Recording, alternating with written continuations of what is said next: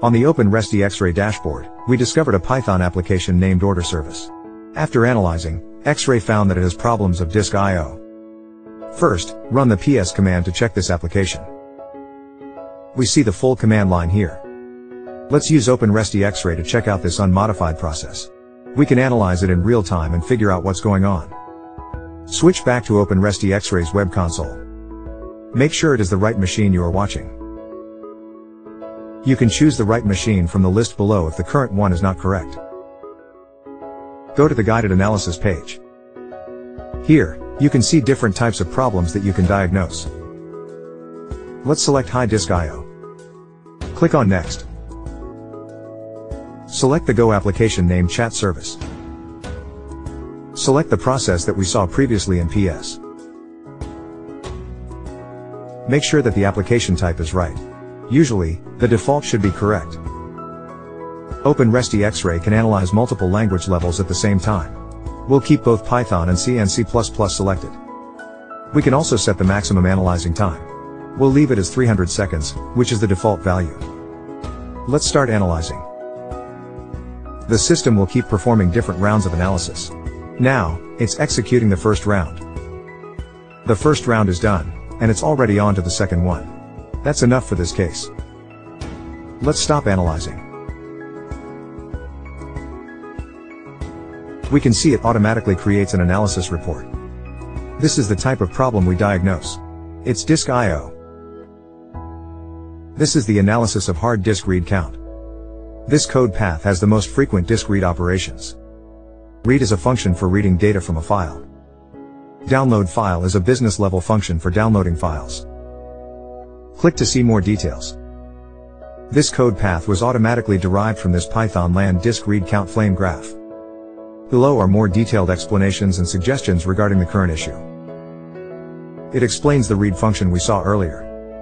Let's go back to the code path.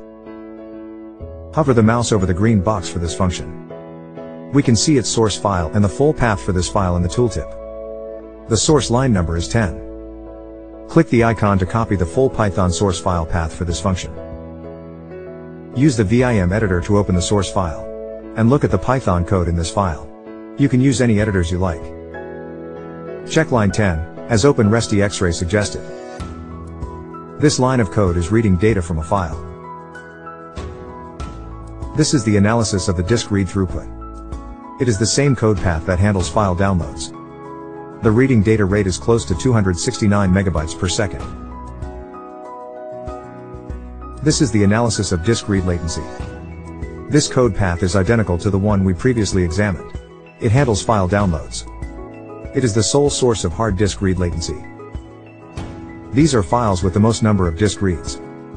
The file with the highest reading data volume rate is picoceanwave.jpg. The reading data rate is 193 megabytes per second. These are files with the most accumulated read latency.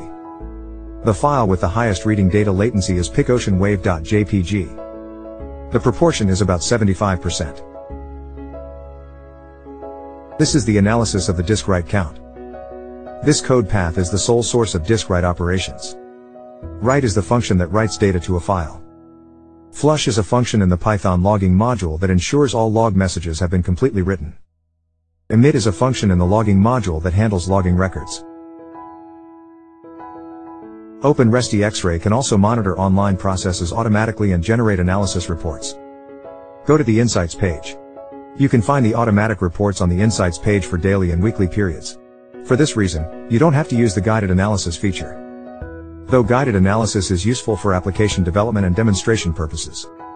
OpenResty X-Ray is a non-invasive diagnostic system based on our own dynamic tracing technology. It can monitor and scan performance problems, behavioral issues, and security vulnerabilities in real time. If you like this video, please subscribe to our YouTube channel. Thank you.